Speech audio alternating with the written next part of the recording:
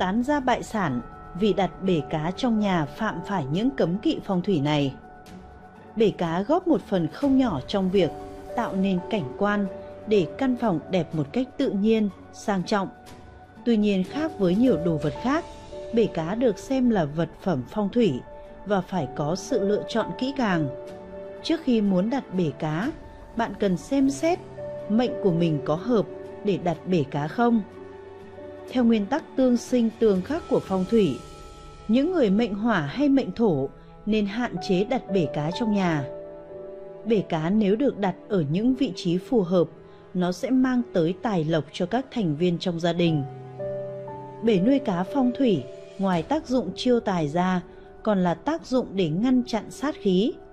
Các kiến trúc nhà ở thành phố hiện nay không giống như ở nông thôn, không chỉ nhà đối diện nhà, cửa đối diện cửa, mà còn sát tường, sát vách. Vì vậy theo phong thủy mà nói, đều sinh ra sát khí. Những điều này đối với sự lành giữ của nhà ở đều có sự ảnh hưởng. Cho nên đã có kiến nghị là nên đặt một tấm bình phong để ngăn chặn hoặc hóa giải các sát khí đó. Ngoài ra cũng có thể sử dụng bể cá phong thủy. Những điều cấm kỵ khi nuôi cá phong thủy.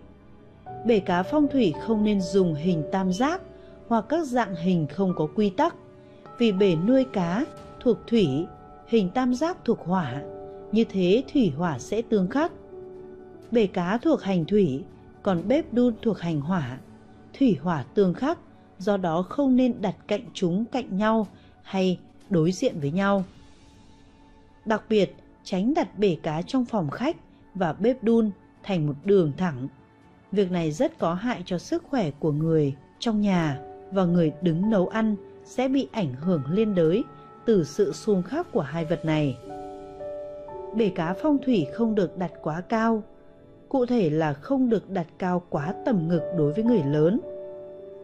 Bể cá phong thủy không được đặt nơi âm u ẩm ướt, bởi bản thân bể cá là thủy, giải phóng khí thủy. Nếu đặt ở đó sẽ khiến cho trong nhà càng âm u, vì thế tốt nhất là đặt ở nơi có ánh sáng mặt trời. Phòng ngủ không được đặt bể cá vì nó là rất ẩm ướt, ảnh hưởng đến sức khỏe và vận thế của thành viên trong gia đình. Bể cá không nên đặt ở dưới tượng thần, đặc biệt là thần tài hay tượng tam đa.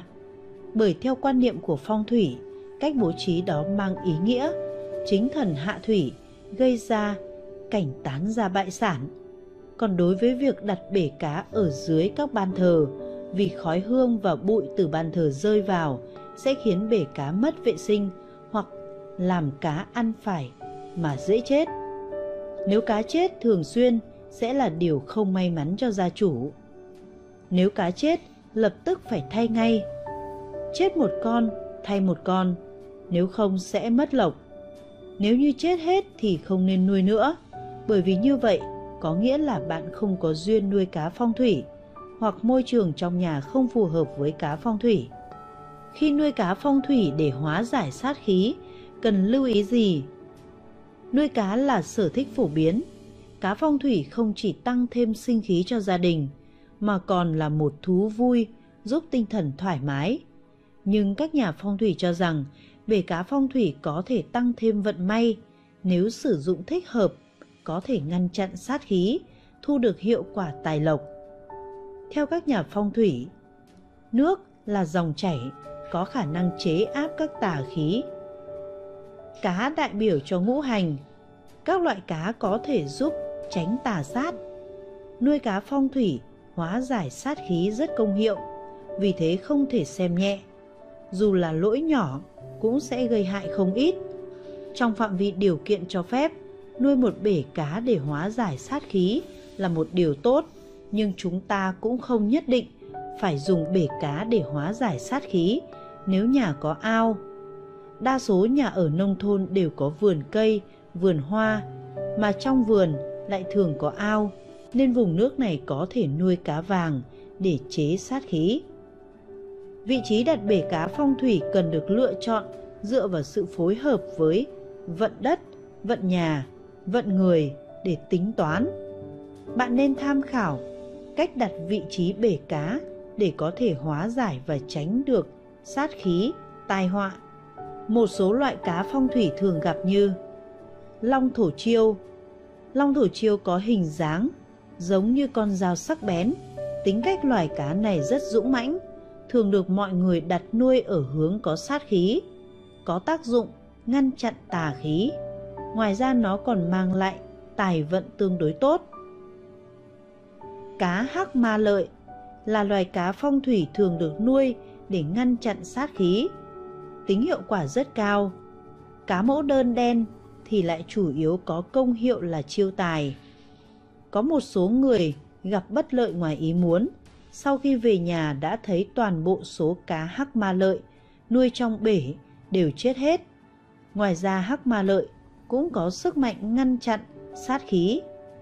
Cá vàng có các loại chủ yếu như mẫu đơn hồng, hắc chân châu, cá vàng tượng trưng cho tài lộc và phúc thọ. Có rất nhiều người thích nuôi loại cá này. Vấn đề lớn nhất khi nuôi cá vàng là chúng rất dễ mắc bệnh, cần đặc biệt chú ý. Cá chép được coi là loài cá linh hoạt, phát triển vận nhà nhưng hạn chế không gian nuôi dưỡng. Những gia đình nuôi loài cá phong thủy này không nhiều, chủ yếu là các cơ quan xí nghiệp. Cá hồng long là loại cá quý tộc. Nó có nguồn gốc ở Tây Á Ấn Độ. Tác dụng của nó là ngăn tà trợ vận, thậm chí có thể giúp chủ nhà tránh tai họa, vận xui. Cá tiểu ngư là cá phong thủy có hình dáng tròn đầy, đem lại cảm giác ổn định trong nhà. Đã trở thành loài cá cảnh được rất nhiều người ưa thích và lựa chọn nuôi trong gia đình. Cá đậu có nguồn gốc từ Thái Lan, được nuôi dưỡng trong bình nhỏ, màu sắc tươi tắn, có tác dụng đem lại những điều may mắn. Cách đặt bể cá theo phong thủy Phong thủy tự nhiên không thể tách rời nước. Thuyết phong thủy, truyền thống rất coi trọng hướng nước đến, nước đi vì nó có ảnh hưởng lớn đến tài vận, sự hung dữ, lành ác trong nhà. Vì vậy bể cá là vật chứa nước nên sẽ có quan hệ mật thiết đến tài vận trong nhà. Bàn về vị trí đặt bể cá phong thủy. Theo thuyết phong thủy có hai ý kiến khác nhau. Ý kiến thứ nhất cho rằng bể cá phong thủy nên đặt ở hướng thịnh vì dụng cụ cung cấp oxy trong bể cá không ngừng vận hành tạo nên vòng tuần hoàn liên tục. Vì thế, nếu đặt bể cá ở hướng thịnh sẽ đem đến thịnh khí cho hướng đó. Ý kiến thứ hai lại cho rằng bể cá phong thủy nên đặt ở vị trí hung bởi vì dựa vào thuyết phong thủy, đưa nước vào vị trí đó sẽ có khả năng chuyển hóa, gặp ác hóa lành. Chúng tôi cho rằng ý kiến sau có vẻ tin tưởng hơn bởi nếu đặt bể cá ở hướng thịnh thì sẽ phạm vào điều kỵ chín thần hạ thủy là đem thần tài đặt xuống nước sẽ bị tài hóa nước. Số lượng cá bao nhiêu con là thích hợp? Rất khó kết luận số lượng cá thích hợp bởi nó phụ thuộc vào sự khác biệt ở mỗi người chủ yếu dựa vào ngũ hành của chủ nhà để định ra. Tốt nhất là một con 6 con hoặc 9 con. Màu sắc của cá thì màu đen là đẹp nhất, bởi màu đen thuộc thủy, nhưng căn cứ vào sự khác biệt của mỗi gia đình, nên những nhà nghiên cứu phong thủy cho rằng số lượng, màu sắc cá cũng nên khác nhau. Ý nghĩa số lượng cá nuôi Một con, nhất bạch thương sẽ giúp vượng tài. Hai con, nhị hắc thổ, khắc thủy không có lợi cho tài vận của chủ nhà. Ba con, tam bích mộc, tiết thủy, không phát triển được tài lộc. Bốn con, tứ lục mộc tang tiết thủy, rất cát lợi nên nuôi số cá như vậy. Năm con, ngũ hành thổ, không sinh được khí, hạn chế nảy sinh tiền tài. Sáu con, lục bạch kim sinh thủy, có lợi cho tài vận bảy con thất xích kim sinh thủy tuy là hung tinh nhưng tương sinh được cho là cát nên vẫn có thể nuôi với số lượng này tám con bát bạch thổ khắc thủy tuy nhiên bát trạch là hữu phụ tài là sao cát. Chín con. Cửu tử hỏa. Cửu tử là hữu bật phúc tinh, cũng là sao cát có thể vượng tài. Từ 10 con trở lên, tính như số lượng trên, bỏ đi hàng chục. Ý nghĩa màu sắc cá trong phong thủy Màu sắc của cá có thể mang lại tài vận, do đó khi lựa chọn cá, cần chú ý một điểm như sau. Cá màu đen, xám hay xanh lam là những màu thuộc thủy, có khả năng thúc đẩy tài vận khá mạnh. Cá màu vàng kim hay trắng thuộc hành kim, sinh thủy, giúp tài lộc chủ nhà luôn dồi dào, phát triển mạnh mẽ. Các loài cá có màu xanh dương hay xanh lá cây thuộc hành mộc hay cá có màu vàng thuộc hành thổ không tốt cho bể cá vì nó thúc đẩy tài vận khá kém. Còn các loại cá màu đỏ thì nên hoàn toàn tránh nuôi vì thuộc mệnh hỏa khác với thủy, sinh ra phá tài hao của. Hình dáng bể cá và mối quan hệ với ngũ hành Hình dáng bể cá cũng có mối quan hệ với ngũ hành như sau. Bể cá hình tròn, ngũ hành thuộc kim, có thể sinh vượng thủy, tượng trưng cho lộc. Bể cá hình chữ nhật, ngũ hành thuộc mộc, sinh thủy khí. Hai thứ này có quan hệ tương sinh, cũng có thể dùng. Bể cá hình vuông, ngũ hành thuộc thổ, thổ khắc thủy, vì vậy với bể cá không thích hợp lựa chọn hình vuông. Bể cá hình lục giác, coi số 6 là thủy, ngũ hành thuộc thủy, có thể sử dụng. Bể cá tam giác, tám góc, thậm chí nhiều hơn, ngũ hành thuộc hỏa. Thủy hỏa tương khắc, không thích hợp với nuôi cá phong thủy chiêu tài. Dựa vào những phân tích trên, hình dạng tốt nhất của bể cá nên là hình chữ nhật, hình tròn và lục giác, có tác dụng mang lại tài vận cho chủ nhà. Mọi người khi lựa chọn bể cá cần chú ý. 8 kiêng kỵ phong thủy buộc phải tránh khi bài trí ghế sofa để tiền chỉ có vào không ra. Ghế sofa ngày nay được ưa chuộng trong kiến trúc hiện đại. Tuy nhiên, việc bài trí ghế sofa ở đâu trong phòng khách không phải là chuyện đơn giản.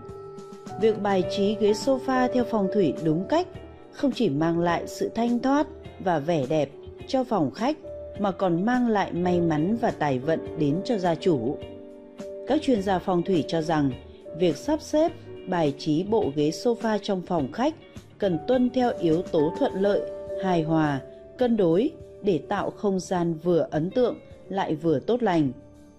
Sau đây là một số kiêng kỵ cần tránh khi bài trí ghế sofa trong phòng khách. 1. Không nên bài một nửa hoặc kết hợp hai bộ sofa khác nhau. Phong thủy coi trọng sự cân đối và hài hòa, nên việc lựa chọn hình dáng sofa để bày trí là rất quan trọng. Bạn nên chọn sofa có hình dáng kích thước phù hợp với diện tích không gian của phòng. Phòng khách bạn cần tránh trường hợp bên cao bên thấp hay lồi lõm không theo quy luật, cũng như trường hợp tiết kiệm mà lắp ghép nửa bộ sofa này với nửa bộ sofa khác. Chính hình dạng hay màu sắc khác nhau của ghế sofa sẽ tạo ra sự không cân đối, mang lại điểm xấu cho gia chủ cũng như làm mất vẻ đẹp của căn phòng. 2. Không đặt sofa đối diện với cửa chính. Phong thủy cho rằng khi sofa và cửa chính đối nhau tạo thành một đường thẳng là điều không tốt vì khí từ ngoài cửa sẽ xung thẳng vào chỗ ngồi và điều này có thể dẫn đến tình trạng người nhà bị phân tán, tài khí phát tán. Nếu gặp phải tình trạng này thì tốt nhất bạn nên chuyển dịch sofa lệch khỏi cửa. Nếu không thể dịch chuyển được thì nên sử dụng bình phong. Làm như vậy, khí từ ngoài qua cửa chính vào nhà sẽ không ảnh hưởng đến người ngồi trên ghế sofa. 3. Không nên để khoảng trống sau sofa, dễ tạo cảm giác bất an. Một điều vô cùng quan trọng là khi bố trí ghế sofa, bạn nên để lưng ghế dựa vào tường. Điều này là rất cần thiết trong quan niệm hạo sơn, tựa núi, giống như có chỗ ngồi vững chắc sẽ giúp cho gia chủ dễ phát triển công danh và sự nghiệp ổn định. Có tích tụ tiền tài, gia đình yên ổn và có quý nhân giúp đỡ. Ngược lại, xét từ góc độ tâm lý, nếu sau lưng sofa là cửa ra vào, cửa sổ hay lối đi sẽ tạo cho người ngồi có cảm giác thiếu an toàn, bị động do không quan sát được phía sau. Hơn nữa nếu sau lưng sofa không có chỗ dựa nào thì sẽ dễ hao hụt về tài chính. Tuy nhiên, không phải đặt vị trí sofa ở vào vị trí sau lưng tường đều tốt cả. Ví dụ như nhà bếp, nhà vệ sinh thì bạn không nên làm tường dựa cho vào sofa. Nếu đằng sau sofa không có tường để dựa thì bạn có thể đặt ở đó một chiếc tủ thấp hoặc một tấm bình phong để hóa giải. 4. Gương tuyệt đối không nên đặt phía sau sofa. Gương có vai trò vô cùng quan trọng trong việc làm cho không gian nhà trở nên rộng rãi. Tuy nhiên, một điều cấm kỵ trong phong thủy đó là đặt gương đằng sau ghế sofa. Vì như vậy, phần gáy của người ngồi sẽ bị người bên cạnh hay người ngồi đối diện nhìn thấy. Điều này sẽ tạo ra sự ghen ghét, đố kỵ, chơi xấu nhau xảy ra đối với người trong nhà. Chính vì vậy, cách tốt nhất nên đặt gương bên cạnh hoặc tránh vị trí sau ghế sofa. 5. Tránh đặt bể cá phía sau sofa. Một số người cho rằng đặt bể cá phía sau bộ sofa sẽ làm cho không gian phòng khách thêm sống động. Tuy nhiên, quan niệm hoàn toàn sai lầm. Nếu sau ghế sofa là bể cá, tiểu cảnh ướt, không phải tiểu cảnh khô sẽ không tốt vì chúng thuộc hành mộc, thể hiện sự luân chuyển, bất ổn. Tốt nhất trong trường hợp này nên thay thế sự hiện diện của hành mộc thông qua việc bài trí chậu cây cảnh sau sofa sẽ tốt hơn cho vận khí của gia chủ. 6. Không đặt sofa đặt dưới đèn chùm. Nhiều gia đình thường lắp thêm một đèn chùm ở trong phòng khách để trang trí và tăng cường ánh sáng. Tuy nhiên đối với ghế sofa không nên đặt trực tiếp bên dưới đèn chùm vì điều này sẽ khiến người ngồi trên ghế dễ rơi vào tình trạng căng thẳng thần kinh, đầu óc lú lẫn, ánh sáng chiếu trực tiếp vào mắt sẽ gây ảnh hưởng không tốt tới thị giác, gây rối loạn hình ảnh. 7. Tránh đặt sofa gần cửa sổ. Ánh nắng mùa hè rất gay gắt, do đó không nên đặt sofa ở vị trí ánh nắng mặt trời chiếu sáng. Khi sofa thường xuyên bị ánh nắng chiếu vào sẽ khiến cho bề mặt của sofa bị phai màu và trực tiếp ảnh hưởng đến độ bền. Cho dù sofa được làm từ chất liệu, vật liệu nào thì đều không nên đặt bên cạnh cửa sổ. Nếu phòng khách nhà bạn hướng về phía tây càng phải chú ý. 8. Không đặt sofa dưới xà ngang. Khi bố trí sofa, gia chủ thường chọn một vị trí đẹp, cố định để tiếp khách. Vị trí đó vừa có thể nhìn được cửa phòng khách, vừa nhìn được bao quát bên ngoài. Và có một điều quan trọng là vị trí đó phải tránh xà ngang. Nếu đặt ghế sofa dưới xà ngang thì khách và chủ nhà ngồi nói chuyện sẽ có cảm giác bị căng thẳng, đè ép làm tổn hại đến tinh thần của người ngồi. Vậy phải bày trí sofa thế nào cho hợp phong thủy? Trước tiên là về hướng. Việc bài trí sofa đúng hướng không chỉ mang lại sự thanh thoát và vẻ đẹp cho phòng khách mà còn mang lại may mắn và tài vận đến cho gia chủ. Theo phong thủy thì hướng sofa nên bài trí là hướng vượng. Hướng vượng thì gồm có hướng đông bắc, hướng chính đông, hướng nam và hướng chính tây. Vì thế bạn nên đặt ghế chính dựa lưng vào tường theo các hướng trên sẽ giúp mang đến nhiều phú quý và tài lộc cho gia chủ.